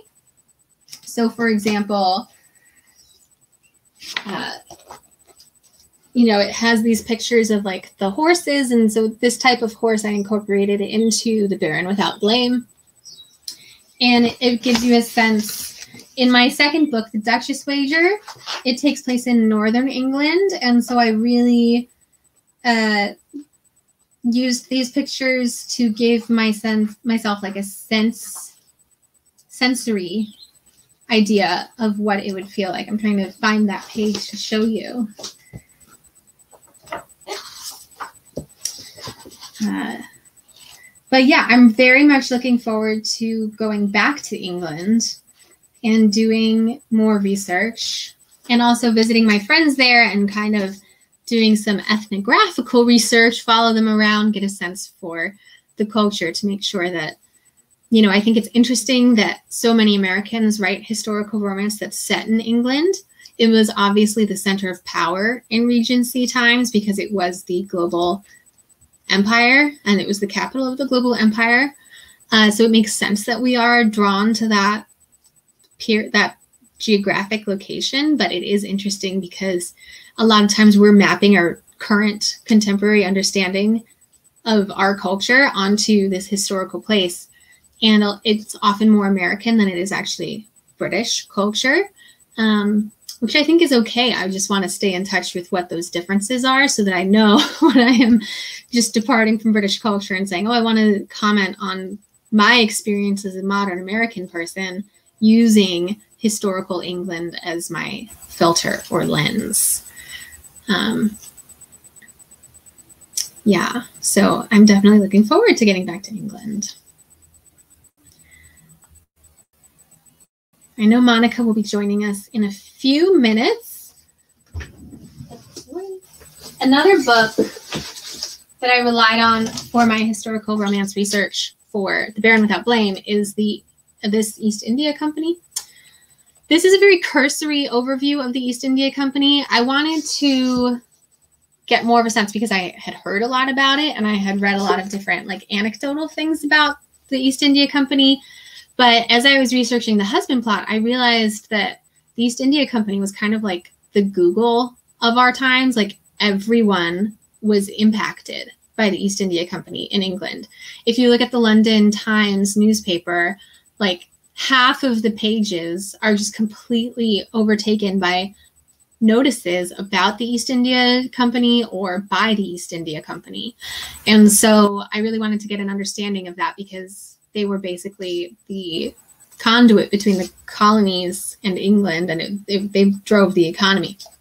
So I used this book to um, get a sense for that. There's a lot more to learn about the East India Company. I'm not an expert yet, but it's a very interesting dynamic that the East India Company had. All right, so now I am super excited to introduce our final reader, Monica Burns. Welcome, hey. Monica. nothing, nothing, absolutely nothing went right from the time I emailed you. Absolutely oh, nothing. Oh, no. I am on well, my laptop. I look terrible. It's just, guys, you know, if you know me, you read me, you know that I'm a complete basket case. So this is typical. well, my intro for you is you are a best selling and award winning author of spicy, historical, contemporary, and paranormal romance. So um, we're very excited to have you on tonight and to hear your reading. Um, thanks. And I have, I tried to get over to my, hopefully my Facebook group knows how to find me because I, like I said, nothing worked right. And I couldn't get the right link to get over here. So hopefully they'll not be too mad at me because you are going to put this on. Um, it's streaming live to YouTube right but now. It, it will, be stay on. It'll stay on YouTube, right? Because they can go yes, back. it will. Okay. Yeah. All right. Um, because I invited somebody special tonight to do this with me. I do voices so terribly. I, I my friends say I have a southern accent. I say I don't. So trying to imitate an English accent is completely uh, it's abysmal. So I decided that I would invite somebody to join me, and we're going to see how this works. Being the tech guru that I am, um, if you follow me or you're in my group, you will know exactly how funny this is actually going to be. So um, bear with me for a second, okay? sure. All right. And I'm gonna have to I'm gonna read from my Kindle because it's where I'm at, it's dark. I tried they got this really cute little line that says, uh, you know, pro tip to make yourself look good, lighting works. And I'm like, I'm in my lazy boy. What the hell do you want from me? Um, so this book is um, the reading I'm reading from is Forever Mine. It's um, it's a time travel. It's uh, it's a book of my heart. I promote this book religiously at six years old, and I'm still. It's like it just came out to me. So with this particular book, she um, has been missing for three weeks and she tumbles through time. When I say she's been missing, she's taking the, the heroine is taking the place of the, the wife of a, a um, an earl. And he finds her and they do not like each other at all. uh, she's a complete witch. And so he has brought her home saying, you know, I don't believe you. You're, yes, you're my wife. She says, no, I'm not. So they've had this discord going the whole way. And now I'm going to read from the scene where she's actually been brought back to the house and she's trying to get herself um, together um, in terms of what's happening. So she's doing pretty good. Is that you flipping around or is that me? okay. That was me. I just wanted to put your cover up so people no, can see it that's fine because I'm just like I said, nothing's gone right. I'm just making sure I'm not losing it. So, okay, so let's do this reading. Um, and it's somewhat spicy. I don't know what spicy is to people. It's not spicy to me, but it's actually pretty tame. Eager to bathe and wash off the dried grime of her earlier ordeal, Victoria reached behind her to unbutton her dress. It was a struggle working with the gown's small buttons, but she'd managed to undo the dress almost to the waist when the bedroom door crashed open. Startled by the noise, she whirled around to see the Earl appear in the bathroom doorway. What the hell do you think you're doing? Th- His anger was almost as furious as it had been at the cottage, but this time she was wasn't afraid of him. I'm getting ready to take a bath. this game of yours has gone far enough, madam. I demand to know why you aren't in your usual bedchamber. It's a mausoleum, and I asked Mrs. Beecham for a different room. And you selected this room out of all the other bedrooms in the house. You expect me to believe you had no other reason for selecting this particular room? Despite his outrage, she saw puzzlement darken his gaze. What other reason would I have? At her reply, he limped forward and caught her by the arm, then half dragged her out of the bathroom. With a vicious jerk, he opened the door she'd not opened and pointed to the opposite end of the corridor. This hallway, madam, leads to my bedchamber. His words were ice chips scattering through the air. She shrugged, and one of the sleeves of her gown slipped off her shoulder. Frustrated, she tugged it back into place. You're upset because I picked a room that happens to be next to yours?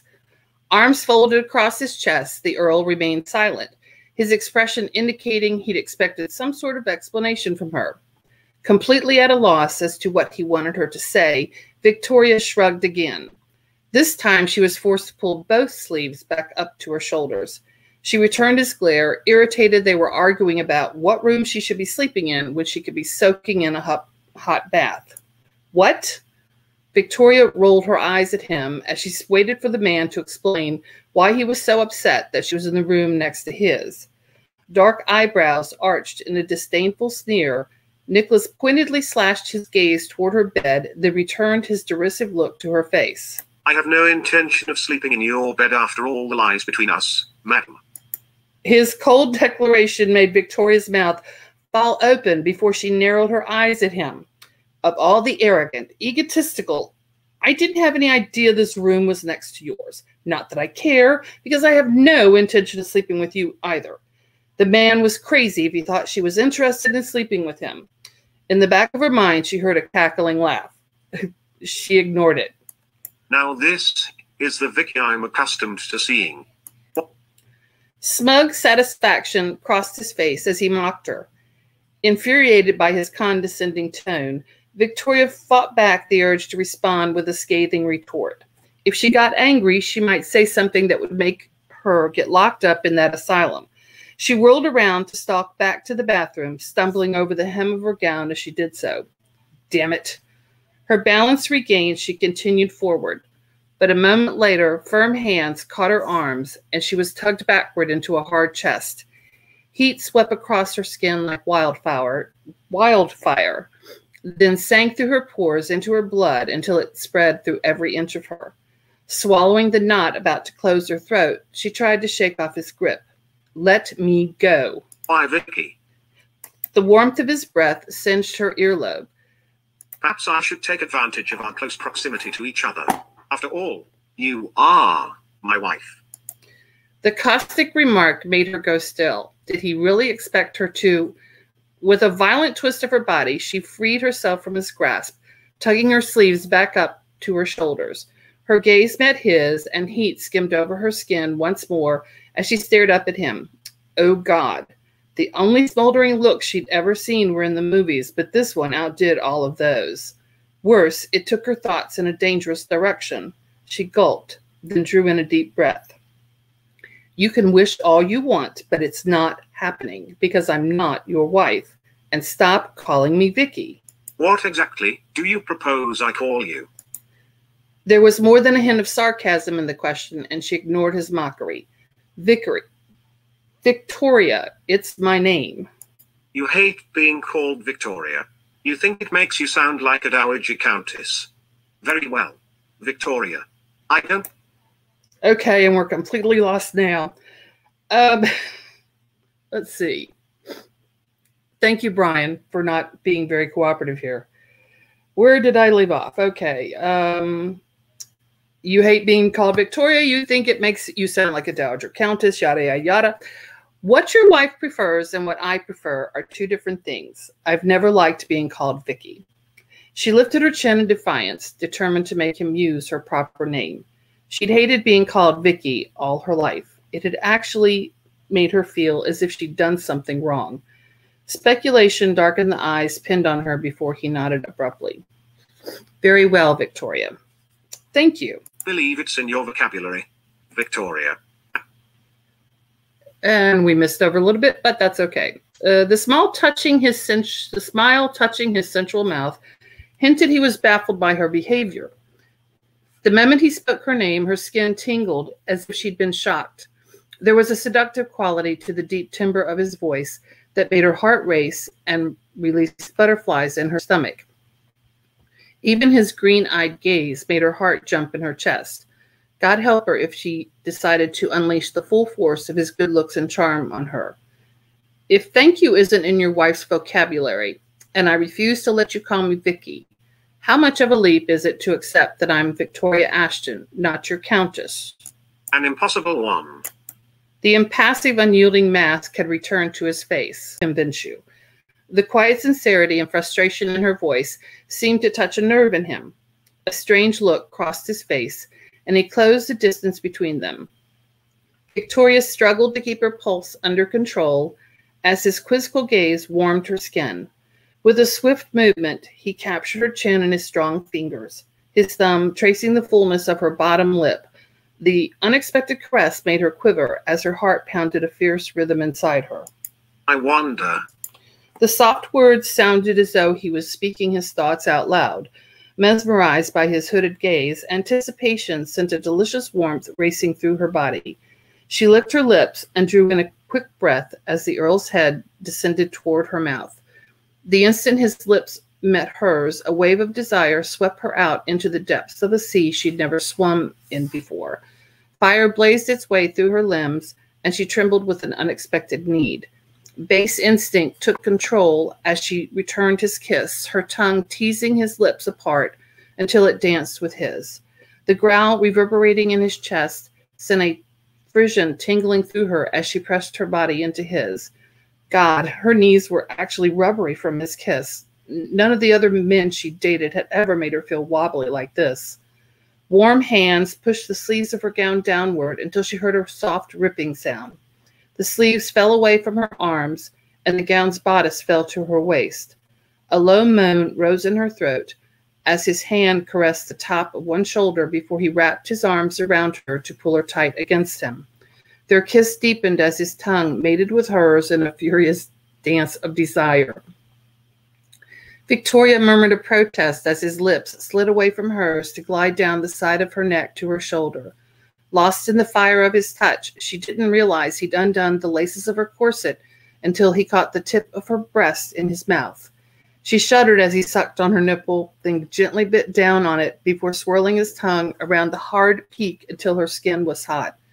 An ache latched itself to her insides, and she realized she was wet between her thighs. The heat melting through her tugged another moan from her, and her hands slid through the black thickness of his hair. Oh God, she wanted him. She wanted him now. On the floor, on the bed, she didn't care as long as he eased the intense longing clutching the lower half of her body. He'd not changed out of his riding clothes, and her hand slid down across his chest to his erection. It was hard and thick beneath his breeches. A dark rumble sounded in his throat as she stroked him through the fawn colored material. Trembling with the frightening need for him, Victoria uttered a soft cry as a shudder rippled through her and she recognized it for the small climax it was. If the man could make her have an orgasm with only a kiss, heaven help her when he actually entered her. Lost in the heated pleasure of the moment, she vaguely heard the knock at the door. The knock sounded again, and with a sharp movement, Nicholas released her. Quickly stepping away from her, he tugged her corset and dress up before he issued an authoritative command to enter. As the young woman entered the room, Nicholas was already heading toward the connecting door between their rooms. Molly, see to it the Countess is downstairs in the salon within the hour. What the hell do you think you're. And we're going to end it on that right there. God.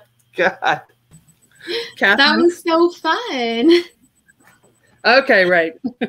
he got he got ahead of me there. So thank you, Brian. so I'm uh curious about the technology. Is Brian a real person? Brian is AI. He's an AI okay. voice that I created. So I like I said, I do accents very, very badly.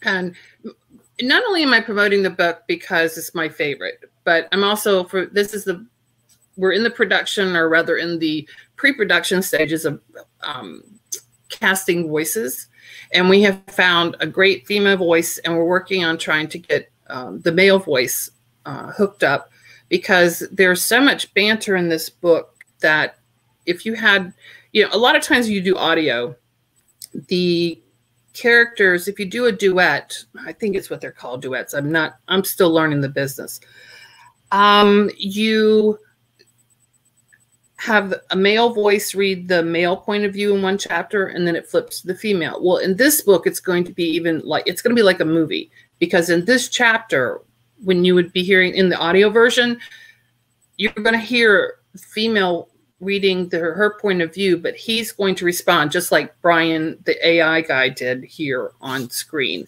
So that was it was kind of a twofold purpose here was to see hey how would it sound my um, production person for the audiobook of this that we're working on I, I tested this with her last night and she she died she goes please don't ever do an audiobook like this and I said, I won't.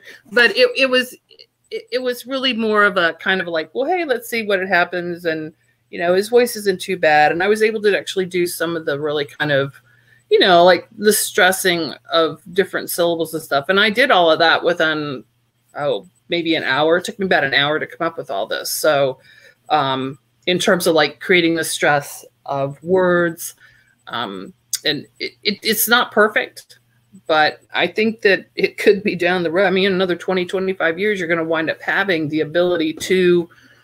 It'll be like you know the the things that people who use who have lost their vocal box cord. You put mm-hmm. it here and you talk.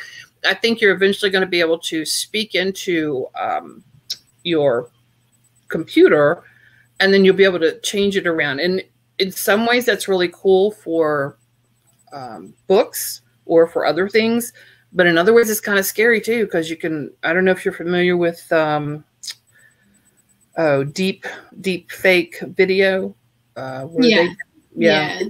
It, it can get kind of technology can be wonderful, but it can be pretty scary too. So, um, but I had a lot of fun doing this, and I figured it, if I, I'm, I'm class clown, so I figured I might as well go full full tilt tonight. Yeah, the readers are loving it in the comments. It was very oh, fun. Good. Yeah. I've been trying not to crack up and, and die in front of everybody with them like reading the sex piece, and that's hardly any sex there because I get so embarrassed. so tell me more about Forever Mine. Is it part of a series? Uh good question. It it has um, a prequel that for the last five years I've been trying to write. I have a couple of scenes already plotted out and written, and um, the the prequel is basically um, about. It's a complicated book. The time travel has two storylines in it. One is present day, and one is past day. The it's it's more of a reincarnation than time travel, basically. But the main characters, Nicholas and Victoria, are also Nicholas and Victoria in the present. Um, but in the past and present, they also have some characters that they meet up with in the present as well. One of those is Nora, who is uh, Nicholas's sister in the present, but she is a good friend called Anna in the past. So for the first two years, I wanted to tell, and, and Anna is married to Sebastian, who is Nicholas's best friend. So I wanted to be able to tell. I actually have two books that I want to write about Anna and Sebastian because they have a really, really kind of cool type of relationship um, that you don't even really see in Forever Mine.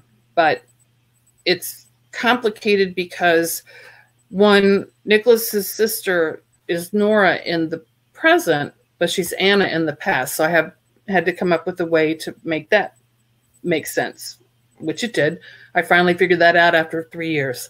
So, so then um, I just kept getting little bits and pieces coming to me, and now I have it's all kind of a mishmash out there in front of me. And I tried starting to write on it a couple months ago, and I've gotten a total of nine pages written of the first chapter, and it stinks. It's just so terrible. So I I have it with an editor friend of mine, and she's gonna like tell me what she sees wrong. It could be that I'm just really afraid of the book. I mean, Forever Mine has been you either love or you hate the book, and if you love the book, you love it to the nth degree. I mean, it's it's a it's a real what what do they call it when something really um, polarizing? Yeah, it's a very polarizing type of book. I've even had one of my favorite Goodreads um, reviews mentions necrophilia. If you're ne- is it necrophilia? Yeah, where they, you have sex with dead bodies.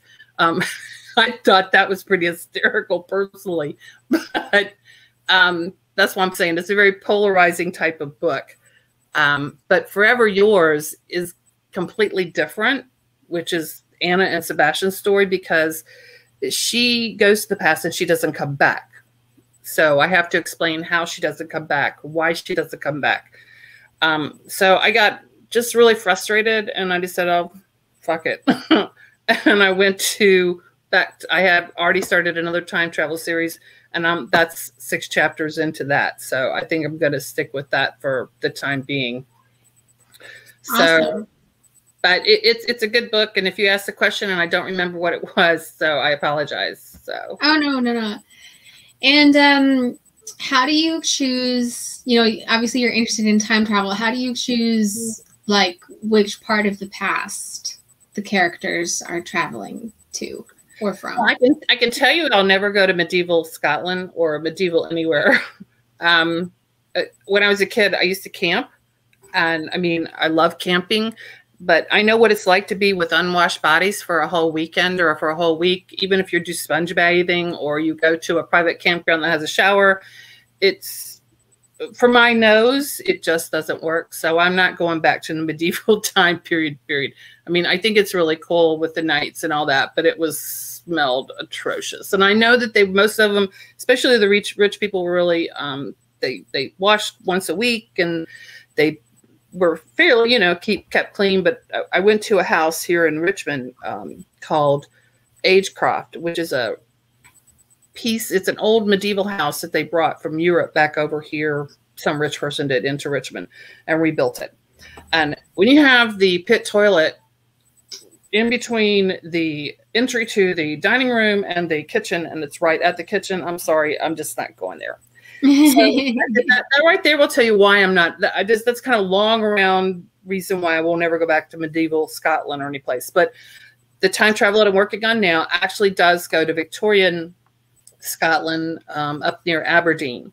Um, and it's a total of three different stories. It's a proposal I put up to, I sent to Berkley, my editor at Berkley, um, Penguin Berkley, and I haven't heard anything back. But I decided, well, I'm just going to go ahead and i want to write it because I like the story, especially this current um, couple, um, Ian and um, God, my mind just drew a complete blank. I can't remember her name. this, oh, I'm sorry um, McKin, uh, not McKin, that's the dog's name. oh, God, Madeline, Madeline, Matt, it's it's Ian and Madeline. So, um, they they've um they've met, and he's really kind of he's very sweet, but he's also very kind of alpha. But he's got a great backstory, um, and um, he's it's more his story than it is her story. So she's kind of like, okay, I'm in the past, so what? So he's hot. Let's you know, like let's do it, sort of thing. But um, yeah. And I've got, I've got, a, got a, I have a couple of other books that I've been trying to write. Of just the time, time is just so limited for so many things these days. Yeah. And um, I'm asking everyone about romancing the Gold Coast, and I know you've attended conferences before. So, do you have any advice for readers who are going to be there, how they can take advantage of the conference and get the most out of it? Um, don't sleep. Uh, I, I'm bipolar, and so for me, when I go to a conference, they're very invigorating, but they're also very draining. Um, and depending on the type of conference that I go to, if it's a writers' conference, I come home and I'm like so totally stoked, and I, I, I get to the computer and I'm writing like mad. So I kind of miss not having those kind of conferences to go to um, more often. Um, reader conferences are great. For a reader, it's easier, I think, than it is the author an author always has to be on, if that makes sense. Um, but the whole point of going to a reader conference is to talk romance and to talk about the books that you love. Um, for authors, it's a it's a chance to talk about your books without your family dropping dead from boredom, um, and getting to know the authors because I, I never really understood why people anybody would want to get to know me. I, I really didn't understand that but um, apparently people want to know me i really I still, I still do not know why because i'm not that interesting a person. In fact i'm pretty bloody boring. Um, but i would i would say that a lot of times authors not everyone is like me okay? I'm going to say that right up front. I'll be in the bar or restaurant, and if I see somebody who I either met very briefly, was introduced to me at, at a standing in line at the buffet, or if they had swung by and somebody, and I remember their name because I try to remember people's names because it's important to let people know that you pay attention to them. So I'll just grab them and I'll pull them. I'm like, hey, come sit with us. So don't be afraid to approach an author um, if if you see that they they're giving you the eye of like, hey, come on over. Um, if you see that they're at a author at a reader conference like this, we're all going to be open to like wanting to talk to readers. Period. It doesn't matter what you read or who you are. Uh, it, it's a uh, it, it's just be yourself. I guess is the best way. To, I guess obviously I'm being myself because I haven't shut up yet. no, that's great advice. I think the my experience so far. This is going to be my first conference as a writer, but I think um, what I've experienced so far is that it's a hugely welcoming community, and so that's going to be the same for the readers, and it's going to be like best friends that you didn't even know you had getting together for a weekend.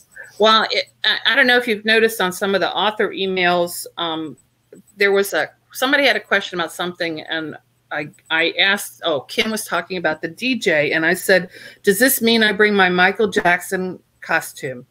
And I don't know if you remember or not, but uh, Kim and somebody, oh, Kim, and I think it was, um, oh, God, who else? Um, somebody else said yes, big letters, exclamation mark.